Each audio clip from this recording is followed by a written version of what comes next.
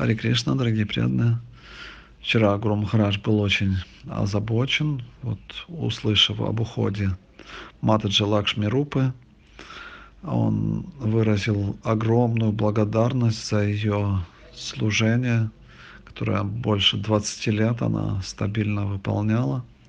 Очень благодарен ей и полностью все свои благословения он, конечно же, дал ей.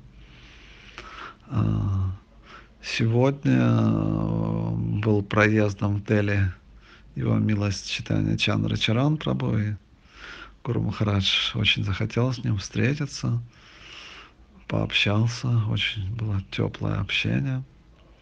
Затем я передал Гуру Махараджи отчеты от тех преданных, которые прислали свои отчеты.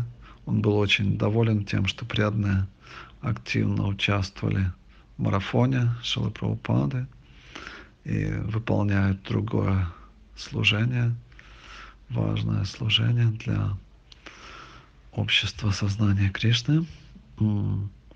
И он передал все благословения тем, кто продолжает свое служение. Хари Кришна.